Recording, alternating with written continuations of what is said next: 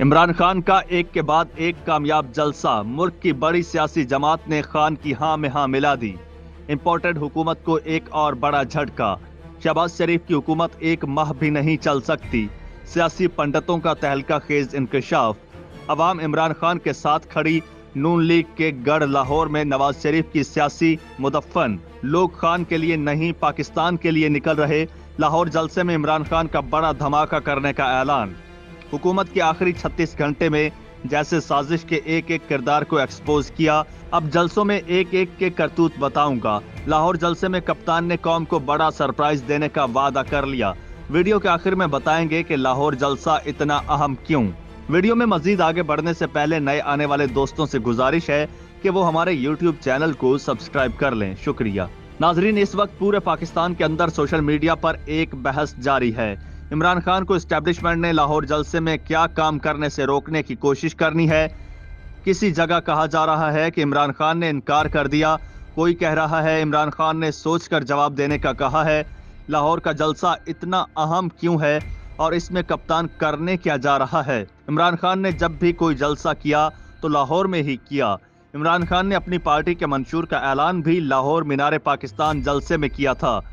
ये जलसा भी लाहौर में हो रहा है। इमरान खान लाहौर में हमेशा कुछ बड़ा करते हैं। शेख रशीद ने आज जो बात की है, वो इंतहाई खतरनाक है।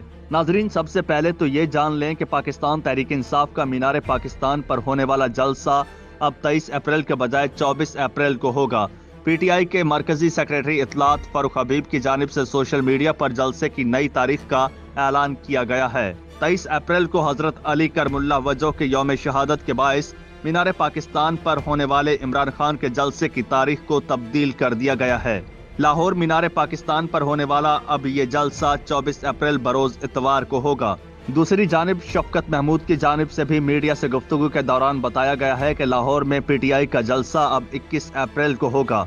पाकिस्तान तहरीक इंसाफ के लाहौर में होने वाले इस जलसे से चेयरमैन इमरान खान खिताब करेंगे, जिस पर इस वक्त सबकी नज़रें हैं। क्योंकि इस जलसे के हवाले से कप्तान ने बड़ा दावा कर रखा है। नाजरीन, इमरान खान जब से सड़कों पर निकला है, तब से नए इलेक्शंस के लिए दबाव बढ़ना शुरू हो चुका है। इस वक्त पाकिस्तान की पाँच बड़ी सियासी जमातों ने बड़ा ऐलान कर दिया है। नौ मुंतब वज़ीर आज़म मनसूबों की बजाय इलेक्शन के जल्द अज जल्द इनका को मुमकिन बनाए। अमीर जमात इस्लामी सराजुल हक की नई हुकूमत को ललकार। इंतबात से कबल इलेक्शन रिफॉर्म्स के लिए कौमी इतफाक राय पैदा किया जाए इलेक्शन कमीशन का माली और इंतजामी लिहाज से खुद मुख्तार होना वक्त की ज़रूरत है। फौज की जानब से आइंदा मार्शल लॉ न लगाने के ऐलान से शकूक शुभात खत्म हो गए। चाहते हैं अदलिया इलेक्शन कमीशन और इस्टेब्लिशमेंट मुकम्मल तौर पर न्यूट्रल हो जाएँ। वो मंसूरा में सेक्रेटरी जनरल जमात इस्लामी अमीरुल अजीम और सेक्रेटरी इतलात जमात इस्लामी कैसर शरीफ के हमरा प्रेस कॉन्फ्रेंस कर रहे थे। मुल्क में सियासी इख्तलाफात दुश्मनियों में बदल गए। इंतकाम के नारे मुल्क के लिए तबाहकुन। पोलराइजेशन खतरनाक हदें छू रही है।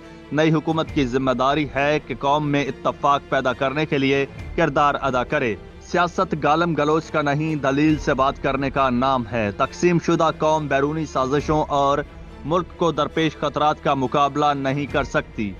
नाजरीन, लाहौर जलसा कई लिहाज से बहुत अहम है। इस जलसे से पहले पाकिस्तान तहरीक इंसाफ के चेयरमैन इमरान खान ने बैरून मुल्क पाकिस्तानियों के नाम एक वीडियो पैगाम जारी किया है अपने वीडियो पैगाम में इमरान खान ने कहा कि आए, साजिश को नाकाम बनाकर मुल्क को इलेक्शन की तरफ़ लेकर जाएँ। बैरूनी मुदाखलत के तहत हुकूमत की तब्दीली की साजिश की गई पाकिस्तान के करप्ट तरीन लोग अवाम पर मुसलत करके 22 करोड़ कौम की तोहीन की गई। नाजरीन, इमरान खान की दिन ब दिन बढ़ती हुई मकबूलियत को देखते हुए नई हुकूमत लड़खड़ाने लगी। शहबाज शरीफ की हुकूमत का साथ छोड़कर पाँच जमातों ने इमरान खान का साथ देने का ऐलान कर दिया है। पीडीएम की हुकूमत पर जो इल्ज़ाम लग रहा है, या वो जिस साजिश का हिस्सा बने हैं, पाकिस्तान की आवाम उसको कभी कबूल नहीं कर सकते हैं। नून लीग ने अपने पाँव पर तो कुल्हाड़ी मार ली है, लेकिन अब साथ की जमातों को भी साथ ले डूबेगी। इस वक्त तमाम छोटी बड़ी जमातों की कोशिश है कि वो गद्दारी के टैग से बचकर इलेक्शन में जाएँ। नाजरीन, साढ़े तीन साल से कुछ ज़्यादा अरसा गुजार कर वो तारीख का हिस्सा बन गए। एक और वज़ीर आज़म जो अपनी मुद्दत मुकम्मल नहीं कर सका। इमरान खान की हुकूमत, उनकी कारकर्दगी, हुकूमती खूबियाँ, खामियाँ, ये सब अब तारीख का एक बाब है। इस पर तजिए तबसरे आते रहेंगे। आजकल तो वैसे ही हंगामी हालात चल रहे हैं। हर रोज कोई नया वाक्य, नया इशू जो फौरी तबसरे का मुतकाजी होता है। इस वक्त तो सवाल दो ही हैं। ओपोजिशन इत्तेहाद जो अब हुकूमत में आ चुका है, अपने फितरी तजादात और सौदेबाजी के शायक छोटे ग्रुपों के बावजूद कितना अरसा हुकूमत चला पाएगा? अभी तो हुकूमत साजी का अमल जारी है, काबीना बनेगी और फिर मुमकिन है। हर कुछ अरसे बाद किसी न किसी ग्रुप के शाकी होने की खबरें सुनी जाएँ। दिलचस्प सूरत हाल बलोचिस्तान में पैदा हो चुकी है, जहाँ की तकरीबन तमाम नुमाया सियासी जमातें हुकूमत इत्तेहाद में शामिल हैं। अख्तर मैंगल की जमात, डॉक्टर मालिक बलोच की नेशनल पार्टी, महमूद अचकजई की जमात पख्तूनख्वा, मैप, शाहजैन बोखरी की जमहूरी वतन पार्टी, बलोचिस्तान अवामी पार्टी वगैरह। देखना यह है कि वज़ीर आज़म शहबाज शरीफ इन सबसे कैसे निमटते हैं। जिसे वज़ीर बनाएँगे, दूसरा नाराज़ हो जाएगा। दूसरा सवाल यह है कि इमरान खान का सियासी मुस्तकबिल क्या होगा? नाजरीन, इमरान खान की दिन ब दिन बढ़ती हुई मकबूलियत को देखते हुए नई हुकूमत लड़खड़ाने लगी।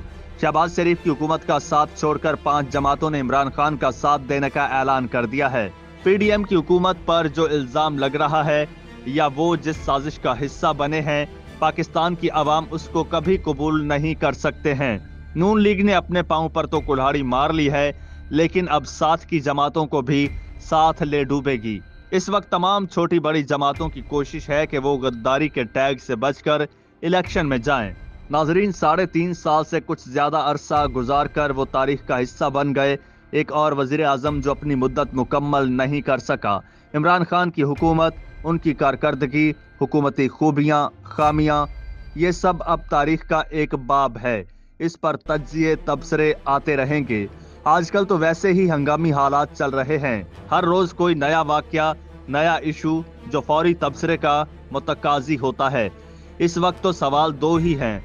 ओपोजिशन इतिहाद जो अब हुकूमत में आ चुका है, अपने फितरी तजादात और सौदेबाजी के शायक छोटे ग्रुपों के बावजूद कितना अरसा हुकूमत चला पाएगा? अभी तो हुकूमत साजी का अमल जारी है।